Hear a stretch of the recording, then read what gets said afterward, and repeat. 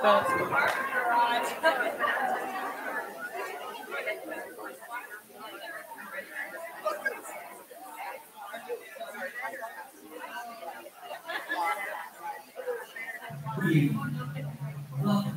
the West Virginia University School of Nursing ceremony. Please silence all electronic devices, give your undivided attention to our students, and remain seated as our students process into the auditorium. On behalf of the School Nursing, we want to thank you for being here with us this evening and sharing in this very special moment.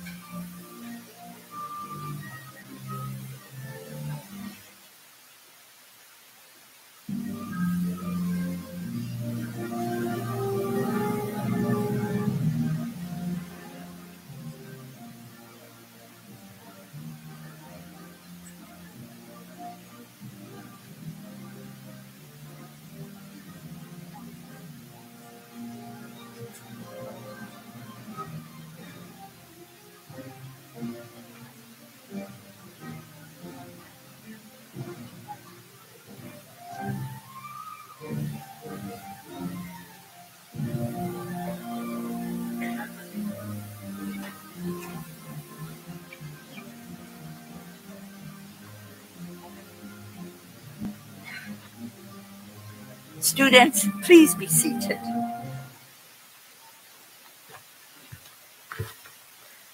We are pleased to have you present with us at this occasion where we honor achievements. We honor achievements, achievements in the School of Nursing. I also welcome those who are with us live streaming on the School of Nursing YouTube channel. Now, tonight, we remember our beloved colleague, Dr. Judy Kandzari. There is a paragraph in your program telling you about Judy and her contributions to the School of Nursing and to the state. A highlight of this evening is the Judy C. Kandzari Memorial Nursing Lectureship. This lectureship is a living tribute, a living tribute that keeps her memory alive. And we are pleased to have with us her daughter, Mrs. Pamela Campbell. Would you please stand, Mrs. Campbell?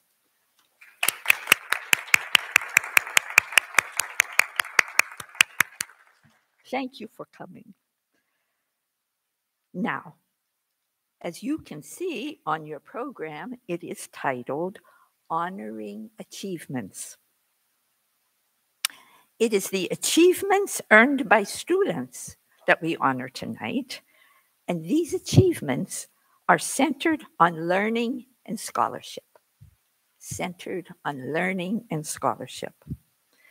These two values are at the heart of the good work we do here in the School of Nursing.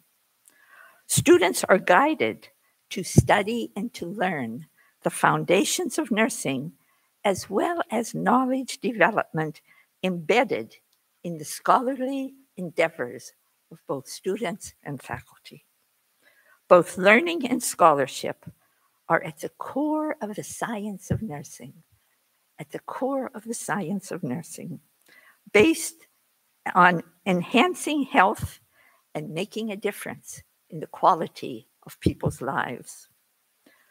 What we honor tonight, then, is a valuing for the science of nursing that is lived in learning and scholarship. Tonight's event makes explicit these values in both the lectures and the awards. And so let us begin. And now Dean Tara Halsey, Dean of the School of Nursing, will welcome you and introduce the speaker. Dean Halsey.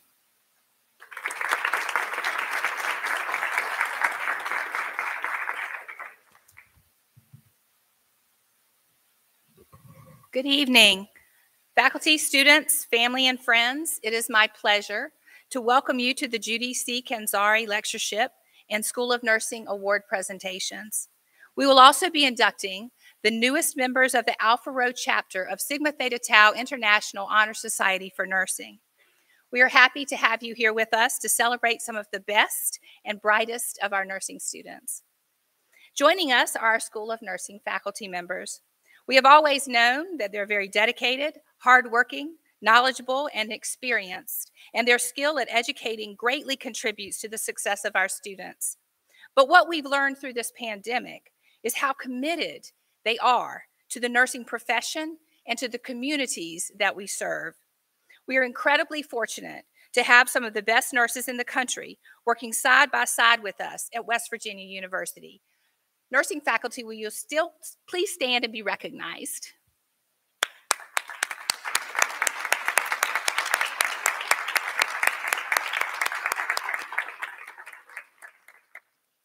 This evening, I have the pleasure of introducing this year's speaker, Dr. Lisa Wiese. Dr. Lisa Kirk Wiese is an associate professor at C.E. Lynn College of Nursing at Florida Atlantic University. She received her Bachelor and Master of Science in Nursing from the University of Virginia and her PhD in Nursing from Florida Atlantic University. Dr. Wiese is board certified in advanced public health and in gerontological nursing. She is a certified dementia care practitioner and a certified nurse educator. A Morgantown native, Dr. Wiese is nationally recognized for her community based participatory research in rural settings. Her research focuses on empowering rural, older, underserved adults to lengthen the time that they can live at home and age in place. Most recently, her work received funding for three years by the National Institute of Aging and the National Institutes of Health to conduct community based participatory research in faith based rural settings. At this time, I would like to introduce you and hope that you will help me welcome Dr. Lisa Wiese.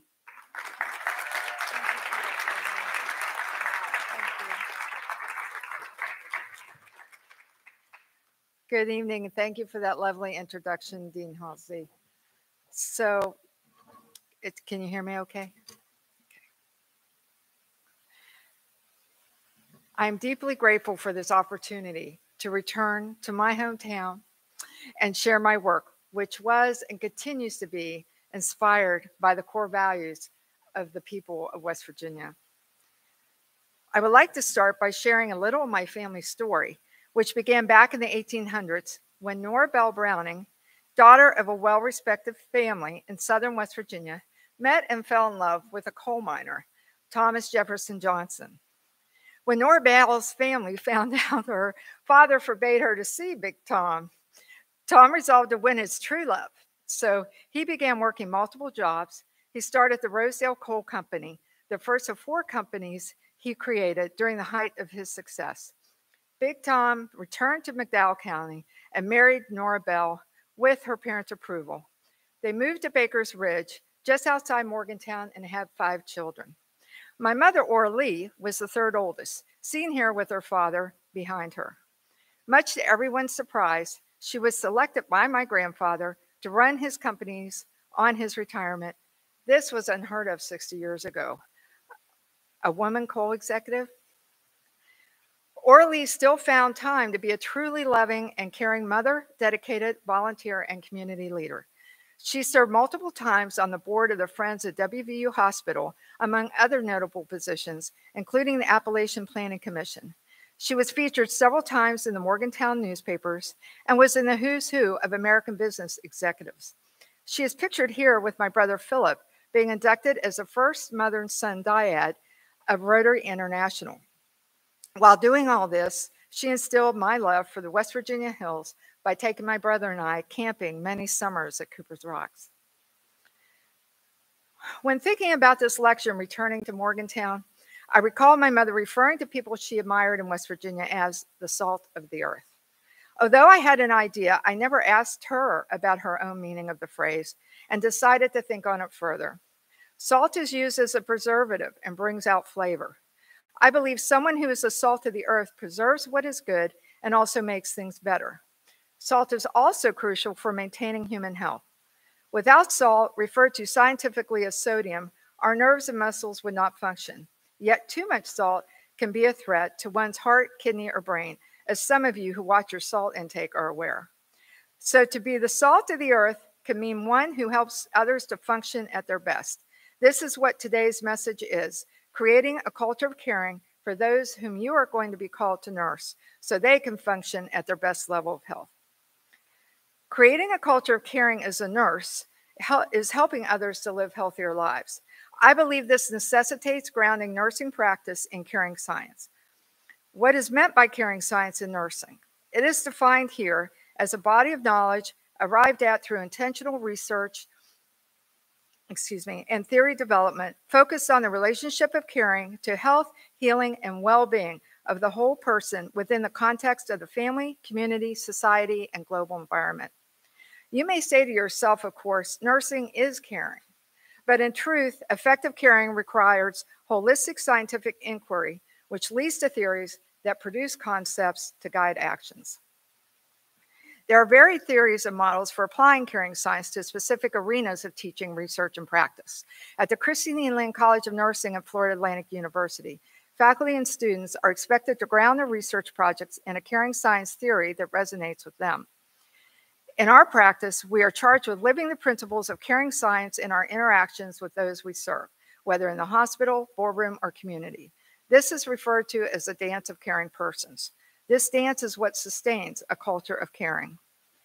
Before I share with you how I have applied the principles of caring science in my own research to create a culture of caring, I would like to provide a brief snapshot of several of the key concepts from the Nursing as Caring theory by Boykin and Schoenhofer which I chose to guide my own work. First is living an authentic presence. Many of you are able to relate easily to this concept. Appalachians are known for their sincere willingness to help one another, such as mowing a housebound neighbor's lawn. And as a nurse, authentic presence means focusing on the needs of the patient as we speak with them rather than thinking about what we have to get done in the next hour. The second concept is coming to know the person in the in between. This means that as you develop a relationship with a person or community, you come to know them in ways that is beyond what is easily evident. For example, as a nurse, you receive a report that Mr. Jones is an 84 year old retired miner who will not take his new medication. After spending some time with him and asking him about a picture in his room, you discover that the photo is of his own family member only family member, a devoted daughter who calls daily to check up on him.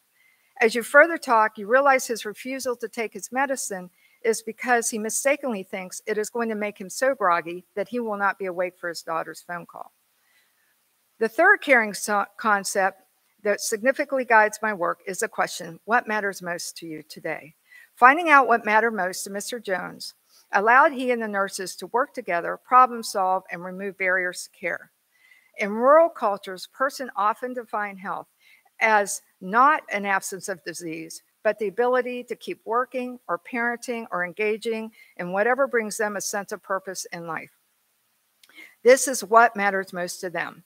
Therefore, any efforts to improve health must first attend to what matters most. This concept in caring science has been the key to creating a culture of caring in my own efforts to promote health in underserved communities. Let me tell you a little bit about the rural communities I now serve. They are at the tip of Lake Okeechobee in south central Florida. So you see the lake there, and they're all right here. If I drive north from my home, oops, oh, I forgot about that. we have a lot of those too. okay. Um, so if I drive up to 95, West Palm Beach and then Palm Beach, which is one of the top 20 wealthiest um, towns in the nation, and then go out this road, you hit Belle Glade, this red star here. That is the poorest town in the state of Florida.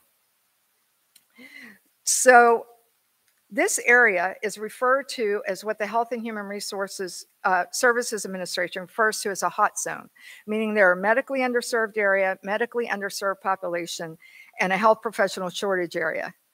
To find out what matters most to this community in which I wanted to make a difference, I looked for ways as a nurse that I could get involved and come to know the community, especially the older adults. I began by calling one of the subsidized housing facilities for ages 50 and over and asked if I could come start checking blood pressures and weights every month. I also brought healthy snacks with me. This led to another subsidized housing unit in the local senior center asking me to come. I also brought students with me. This led me to meeting more gatekeepers and stakeholders in the community, and I formed my first community advisory board. I was really heartened by the community's interest in knowing their blood pressure and weight, and I also started doing spot glucose checks as they wanted their sugar checked. I truly believe that the only way to create a culture of caring is through a community based participatory research approach, of which the Community Advisory Board is a centerpiece. During the journey of creating a culture of caring for rural older adults, adults, I was awarded, as you heard, my first NIH grant to expand our education and screening to other towns in the Glades. Upon the advice of my advisory board, I began working through the churches. This faith based approach has really been the ultimate key to creating this culture of caring in our rural communities. I followed Dr. Nancy Schoenberg's model, Faith Moves Mountains, which has been highly successful in Appalachian, Kentucky over the past 20 years in combating diabetes and cancers of the breast, prostate, and lung. Per her model, I work with church leaders, which include members of my advisory board, to identify what matters most. Then we invite able and interested church members to be trained as faith based health educators and research assistants. We meet weekly on Zoom to plan activities and go in person to a different church monthly after services to conduct health screenings, education, and research. We do wear masks and conduct a quick COVID screening. Incidentally, this work was recently cited as an exemplar of community based participatory research on the National Institutes of Health website. Living the principles of the Caring Science Framework, such as authentic presence, coming to know the other, and identifying what matters most in faith based communities have been instrumental in creating this culture of caring. Other examples to finding out what matter most has involved water, computers, and social clubs. What do these three things have in common? I found out early on that what mattered most to people in the Glades was obtaining clean drinking water. Many older adults would buy bottled water rather than drink cloudy water resulting from outdated pipes then pay for medicines, fresh fruits, and vegetables. Lately, the toxic algae blooms in Lake Okeechobee have added to water disparities. To address this, we have been able to supply water to them through collaborating with community, state, and federal organizations. When the pandemic struck, the only way we could reach older adults was through telehealth. But 51% of residents do not know how to use a computer, and 50% don't own one. So we combined several small local organization grants into large enough ones to supply computers and enlist the high school students to train the older residents in using computers. This intergenerational approach has become a tremendous success story that is benefiting both groups. When we began conducting focus groups to find out what matters most, with the quarantine restrictions lifting, we found out that young adults have nowhere to go to socialize or exercise. There are no coffee shops or movie theaters. We discovered there are no organized events or clubs in the three senior living facilities, even pre COVID 19. We are now assisting with bringing exercise such as this chair yoga, monthly mental health events, neighborhood walking clubs to the Glades. We also found that caregivers wanted access to our robotic pet therapy project for their loved ones. This therapeutic interactive pet or TIP program is a cost effective and sustainable way of promoting positive mood and emotions among persons with dementia. It establishes a means of reciprocal caring. We also just began a mobile health van to visit a different rural church weekly. Maintaining this culture of caring for rural older adults is being that salt of the earth by being authentically present, coming to truly know your patients and communities, and addressing what matters most to them so that you can help them to achieve improved health. Following the nursing is caring theoretical framework to create a culture of caring and promote the health of the older adults I serve has empowered me to address a disease which kills more people, as I said, than breast and prostate cancer combined. That disease is Alzheimer's. Many of you know that Alzheimer's is the most common type of dementia in many places. And a classic sign is short term memory loss. We now have tests to measure abnormal levels of beta amyloid and tau proteins, which lead to the formation of these plaques, amyloid plaques, and tau tangles. And that leads to this kind of brain disease. I'm especially excited about the new blood tests as they will be much more affordable and easier to administer in rural settings. Forewarned is forearmed.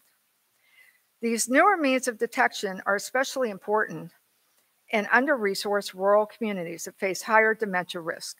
For example, the Glades, Florida region is 94% racially ethnically diverse, which includes African Americans, Hispanic Americans, and Haitian Creole residents. Consequently, the Glades experience all 12 potentially modifiable risk factors for dementia. Many of these risk factors actually start as external influences early in childhood, and so are referred to as life course factors, such as those stated here. These potentially modifiable factors can substantially impact one's risk for progressing to mild cognitive impairment, which then increases one's risk for dementia. The importance of life course factors can be seen here. In normal aging, the body and brain gradually slow down, but intelligence remains stable. Persons with mild cognitive impairment may have notable problems with memory or other core brain functions, but impairments are not sufficient as to interfere with daily life. However, dementia encompasses a range of neurodegenerative brain disorders which do interfere. Modifying life course factors can help prevent or delay the onset of mild cognitive impairment. Oops, sorry about that. Right here, to delay or present that, or present help prevent from going from mild cognitive impairment to Alzheimer's disease. It would make sense that the thing I'm most familiar with, I'm stumbling over the most. okay. Uh, for example, in the Glades, normal um, with a 41% poverty rate and known as a food desert, where ironically fresh fruits and vegetables are difficult to purchase, malnutrition and obesity are common. Eating foods that are more affordable but high in fat over time can increase vascular dementia risk. Therefore, we are teaching folks, folks in the Glades to eliminate one food high in sugar or fat daily. Sometimes we have to say a week and then try to get to a daily. Teaching others to find culturally acceptable ways to improve dietary choices is vital to creating a culture of caring. Another life course factor is a lack of exercise. Beginning in early childhood, it is important to be active. However, in the Glades, Florida, you do not routinely see children playing outside. There are several reasons for this, ranging from lack of nearby parks and sports fields to air pollution from sugarcane burning that you saw on a slide earlier, and lack of organized teams such as soccer clubs. We're writing a new federal grant to begin addressing these social disparities through a what matters most approach. I believe that West Virginians often have a distinct advantage in maintaining health. Let me explain. Two studies of over 5,000 persons, of which 2,000 were followed over 22 years, showed that personalities with less neuroticism and greater conscientiousness had less incidence of dementia. This means that persons who help their neighbors and are less focused on themselves have lower rates of dementia. Go Mountaineers!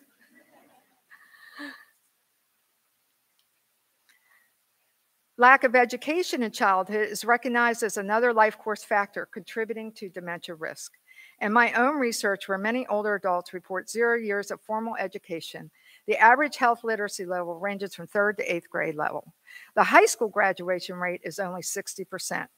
Compared to the state of West Virginia, with high school graduation rates over 80%, this is important considering that the relative risk of Alzheimer's disease is decreased by 83% among persons with 12 or more years of education. Go Mountaineers! Furthermore, lifelong learning helps to build cognitive reserve and decrease dementia risk. I want to highlight that addressing these life course factors at any age can decrease the risk of mild cognitive impairment and dementia. This is stunning news and is important to rural communities where maintaining independence is paramount and fatalistic attitudes are no longer the norm. Instead, people want to know about their health. They want to know what they can do to avoid disease. They also want to know how to take care of themselves so they won't be a burden to their family members. As nurses, we are well positioned to teach folks that improving nutrition, stopping smoking, managing diabetes and high blood pressure, minimizing alcohol intake, preventing traumatic head injuries, Socializing with others and continuing to learn are several ways we can teach others to modify their risk for cognitive decline.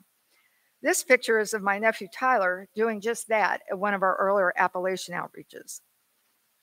What does this information regarding life course factors mean for us as nurses? It means that we can create a culture of caring for rural older adults by promoting health through the three levels of prevention education, screening, and effective disease management. An example of creating this culture of caring for older adults is what transpired after my mother kept asking us over and over again during Thanksgiving dinner Does anybody want some more green beans? My brother Philip immediately took our mom to see her primary care provider here in Morgantown, who conducted cognitive screening and additional tests to rule out other causes. And unlike many providers at that time, immediately started my mother on Aricept and Namenda. Now, many of you have heard that medications do not help with Alzheimer's disease. No drug currently treats it directly, although here at the WVU Rockefeller Neuroscience Institutes, they're making great gains in developing treatments. And I just got to say, go Mountaineers! However, it does help to manage symptoms in an estimated third of cases. My mother was one of those cases. She was able to reside in her own home seven years after diagnosis until shortly before passing. Early detection was the key to her quality of life. Benefits of early detection include involving the person living with dementia in their own decision making, preserving functioning through healthy behaviors, allowing for treatment of other medical conditions that may be worsening the symptoms, and providing time for long term care planning. And there's my brother Phil with mom. How do you motivate persons to engage in pursuing health to create that culture of care? By referring back to nursing theory. For example, families often know what matters most. My brother Phil and his family attended to what mattered most to our mother. Seen here is my niece Lizzie, nephew Tyler, their mother Tracy, and my niece Caitlin. And they are here with me now. Without them, I wouldn't be here with you now because they were able to take care of her while I was in my doctoral program. Mother and son watched the evening news together, talked about what was going on in town, and perused the news together. During season, he would go to our mother's apartment to either listen or watch the Mountaineers football or basketball games. When my mother had to endure the treatment for macular degeneration, which meant ke- keeping her head down for two weeks, my brother rigged up the television on the floor so she could continue to watch the news. He took her every Saturday to get her hair done. This was an especially important activity for, as you might see from those earlier pictures, she took great pride in her appearance. With my brother's help, my mother maintained contact with her WVU Tri Delta sisters. It is important to remember, however, that as nurses, we need to educate family members that it is also acceptable and actually essential that they ask for help. This can be especially challenging for rural residents who take great pride in being self sufficient. My brother had the strength to ask for help from his own children and a mother when he needed it. These family members also help with visits and outings and trips and socialization. These vital activities help to delay the progression of dementia. Applying nursing as caring theory to practice also means that we can make a difference, not just in the families we encounter, but also in our rural communities. We can provide education in locations that might not have access to the latest information regarding the importance of life course factors, that what a child experiences now will impact their burdens for chronic illnesses later in life. As nurses, we can tap into persons' desires to remain independent and increase their motivation through perceptions that they can do something about the disease. As nurses, we could teach parents to participate in parenting and health nutrition classes and work with families so that children will stay in school. We can facilitate adults to attend continuing education classes.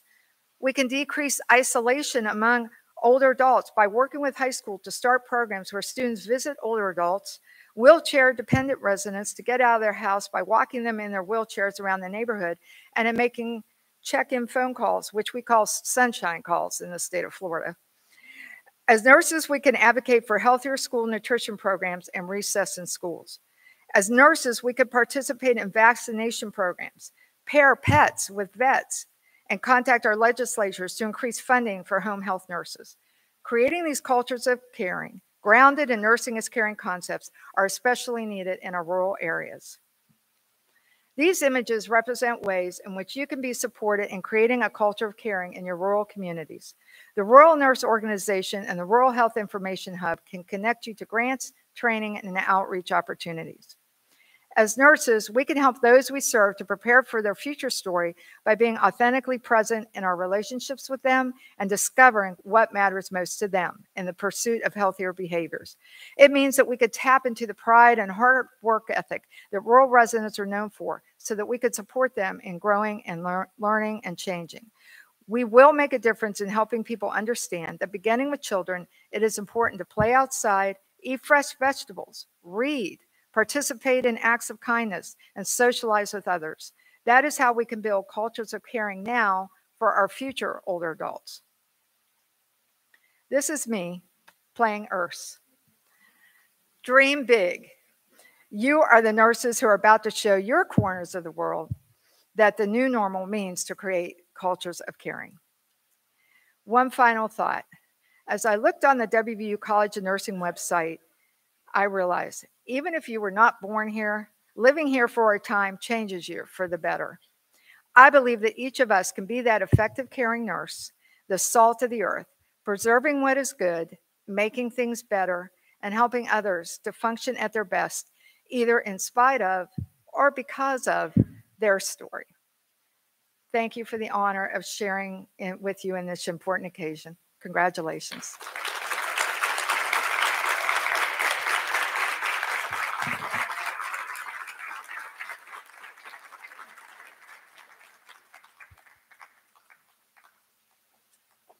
Dr. Wiese, thank you so much for sharing your Oh expertise. And um, I want to know how we can recruit you back here. and go Mountaineers. Yeah, go Mountaineers. That's right. Thank you, Dean Hulsey. Thank you so Thank much. Thank you. Oh my God.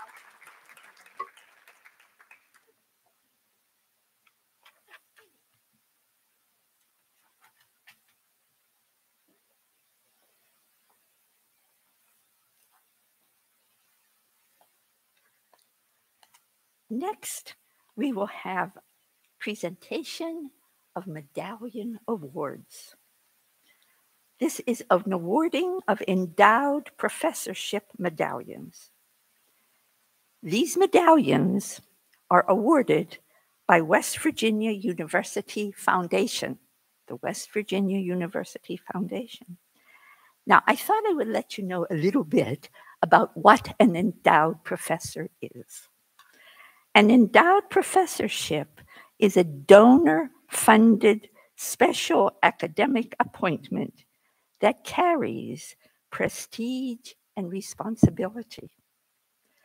These positions demonstrate the strongest commitment on the part of a donor and of the university to a particular academic program. To hold a professorship is one of the highest accolades a university can bestow. One of the highest accolades a university can bestow. This evening, we have two awardees.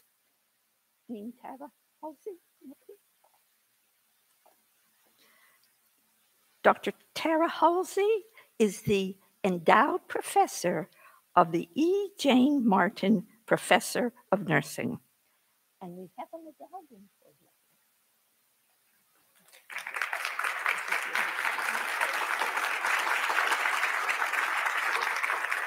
Okay, now this professorship was ordered, was awarded, excuse me, uh, by Jane Martin, who we thought we would have her with us tonight.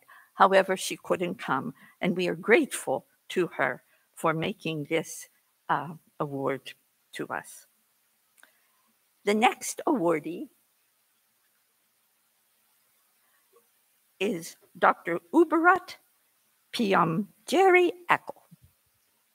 And she, for this professorship, she is the WVUH evidence based research endowed professor. This, this, uh, this professorship was endowed by WVUH, and so uh, we are pleased to have with us Mary Fanning. Would you please stand, Mary? Mary Fanning is the vice president. Okay, let me tell you who she is. She, she is the vice president of nursing clinical services, and we're very glad you could come with us, and we are grateful for this award.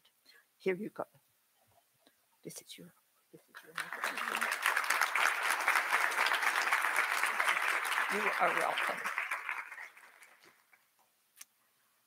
So now we move to the awards part of the program.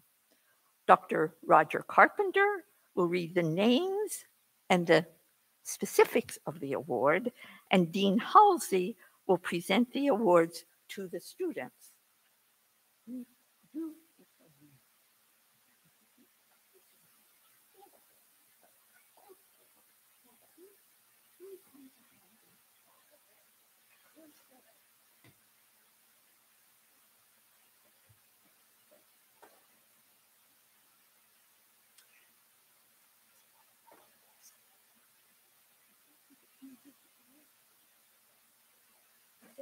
Are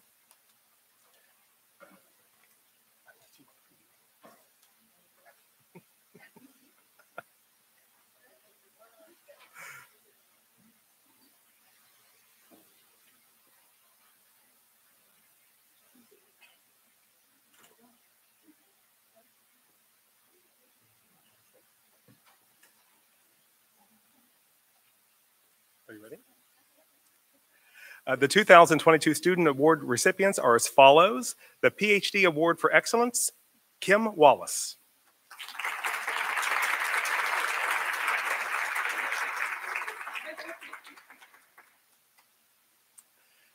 The CRNA Award for Excellence, Shane Brost.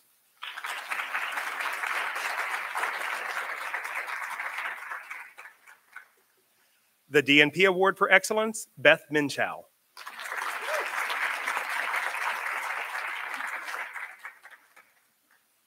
The MSN Award for Excellence, Rachel Balcourt.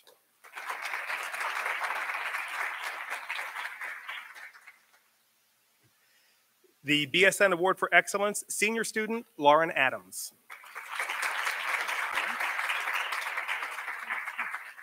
The BSN Award for Excellence, Junior Student, Andrew Johnson.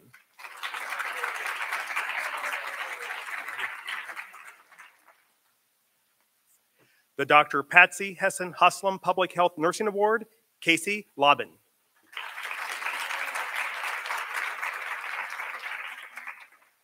The PhD Alumni Award for Leadership, Brad Phillips.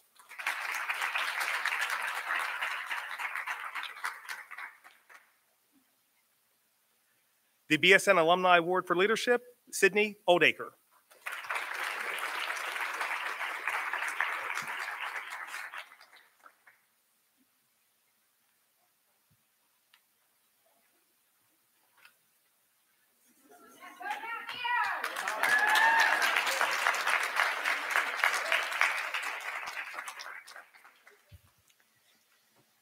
Tonight, we are also welcoming new inductees into the Alpha Rho chapter of Sigma Theta Tau International Honor Society for Nursing.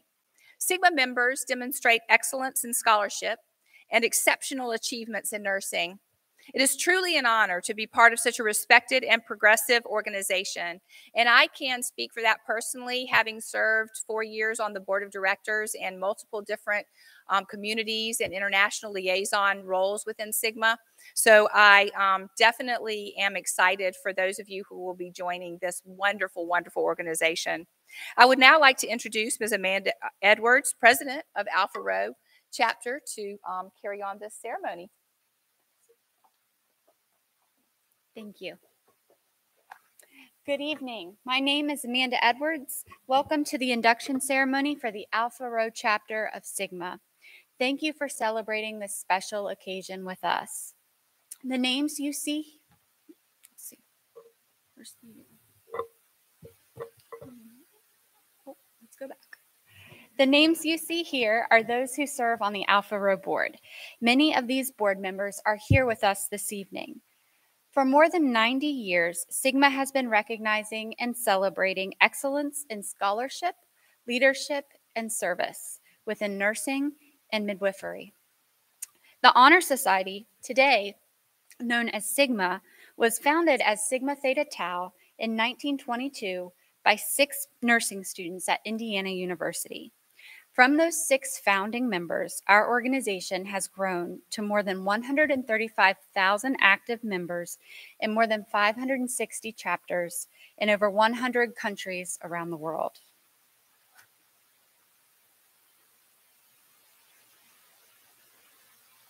Sigma also collaborates with several global organizations to improve the health of the world's people, including representation at the United Nations. This offers members the opportunity to extend their reach outside of their own communities.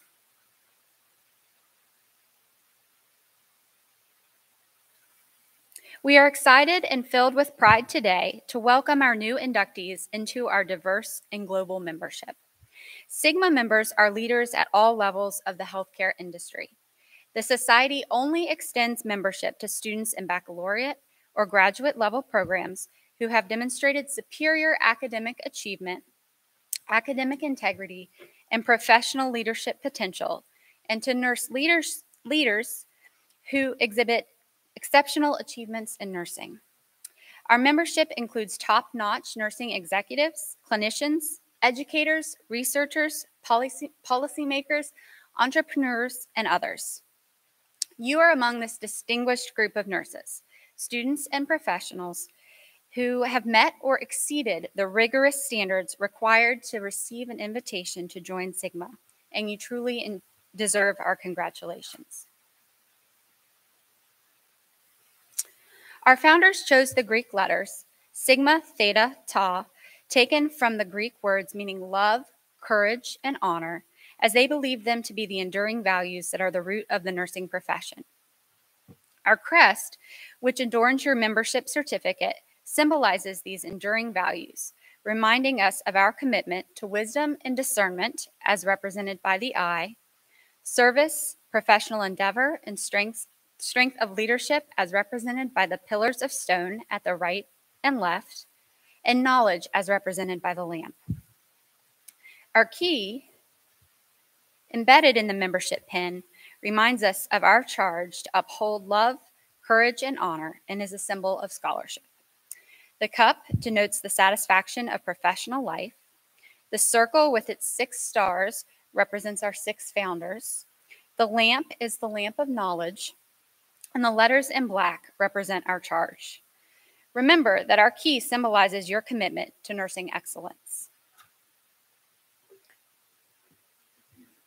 The purpose of this ceremony is not, not only to honor you as a new member and celebrate your successes, but it also serves as our pledge to you to support you throughout your nursing career and to be a lifelong resource for you. At this time, we will receive into membership these outstanding new members.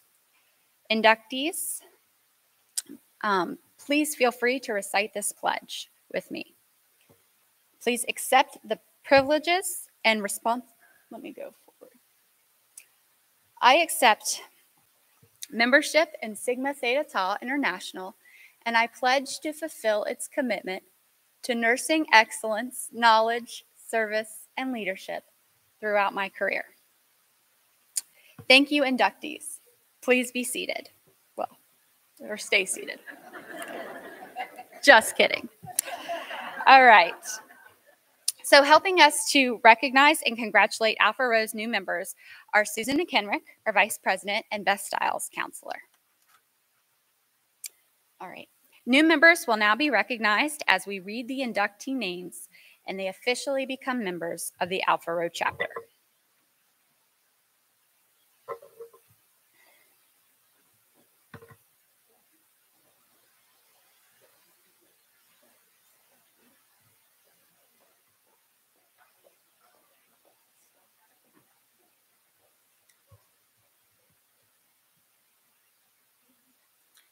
Eliza Barker.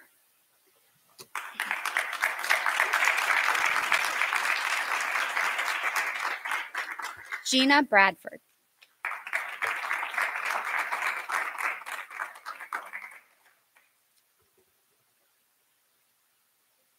Emily Cunningham.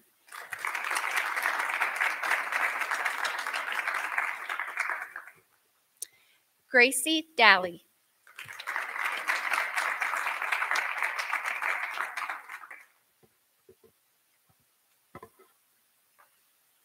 Travis Dye.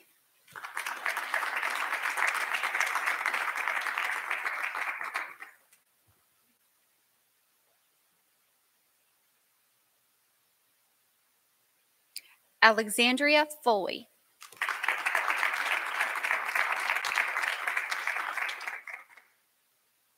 Angela Ginangeli.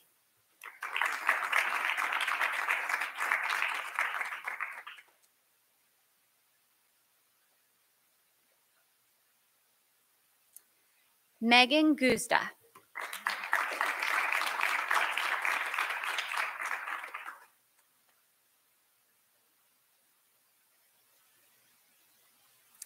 Joelle Harvey.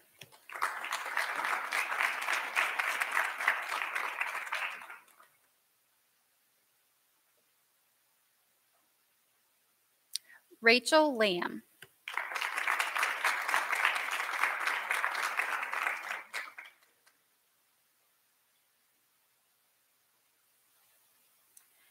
Patrick Murphy.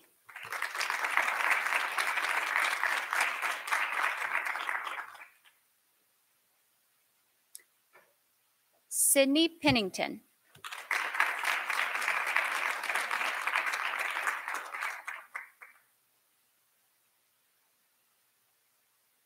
Noel Shreve.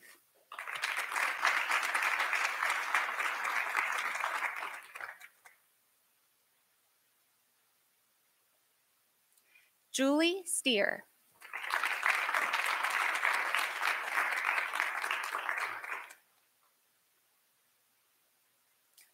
Brittany Triano.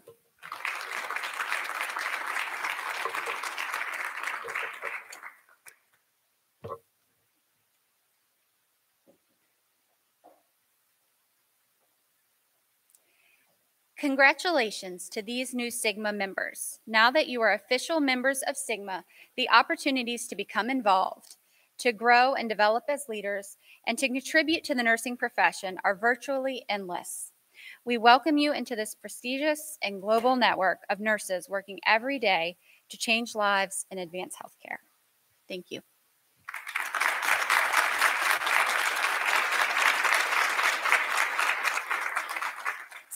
And I'll turn it back over to Dr. Smith.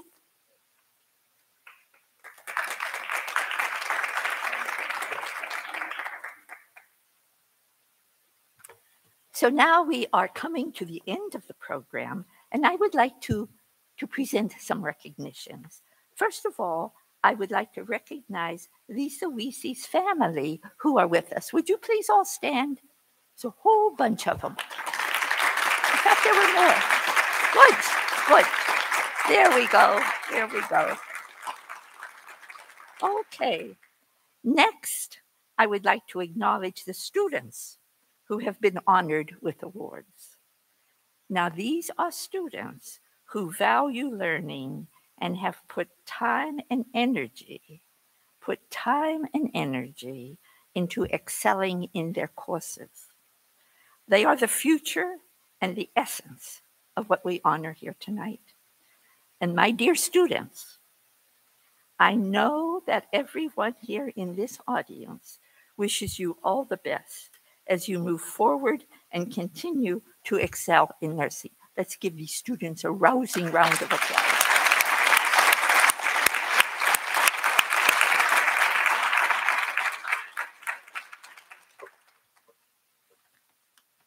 Next, I would like to acknowledge the committee who planned and makes this event happen.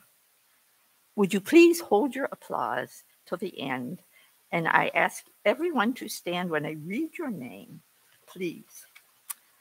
Tina Antokiner. Tina, there she is. Roger Carpenter. Greg Cave. Are you here, Greg? He's out back. Suzanne Gross. Suzanne Gross. Wendy Holdren. Brandy Toothman, and Tiffany Samuels Walker. Is Tiffany here with us tonight? Good. Very good. Now, yes.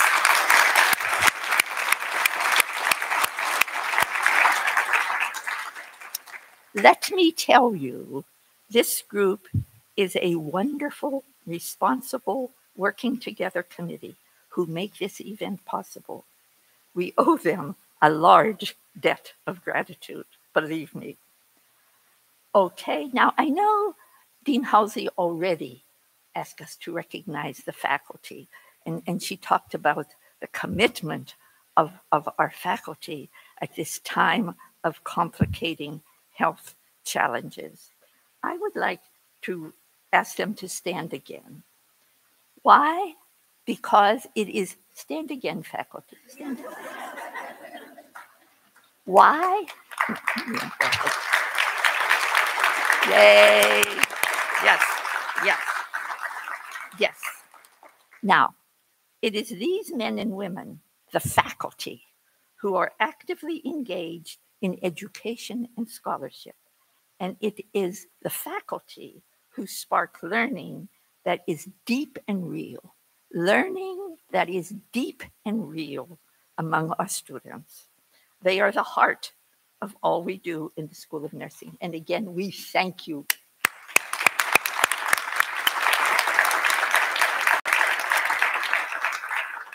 We also have emerita faculty with us tonight. Would you please stand? Please stand. All of you stand. I'm so glad. Where are you? Did you leave? There they are. There they are. There they are. Okay. Yes. Yes. Yes. The emerita faculty are retired faculty who continue to contribute to the School of Nursing, and we are always so very pleased to have you with us. So then we have come to the close of this time of honoring achievements. Achievements rooted in scholarship and learning that will make a difference in the lives of the people we serve as nurse. Tonight, you witnessed a lecture centered on a caring nursing framework. I hope you heard that. A lecture centered on a caring nursing framework that guides practice to enhance health and well being for rural people. And you have been present to acknowledge student awards, awarding of professorships, and induction of students into uh, Sigma Theta Tau. We thank everyone for being with us and invite you to join us at a reception outside in the auditorium, where we will continue to celebrate and reminisce and talk with each other. We thank you. Good night.